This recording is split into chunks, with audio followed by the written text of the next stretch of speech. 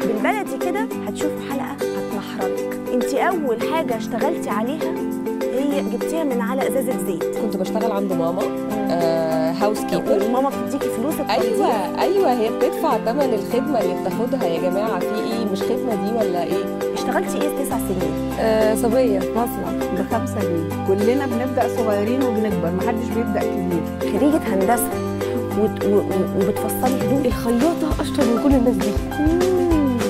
حلوة جدا. أنا جعانة. الله. ريحه وجنبي نكمل بقيه الفقره كده يلي بتستقلوا بالستات. إحنا هنقود العالم بإذن الله.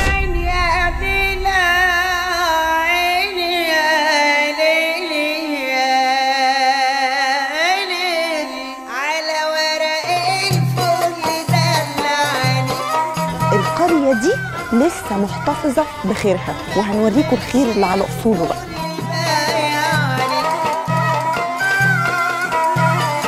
أنا عايزة اسقف للستات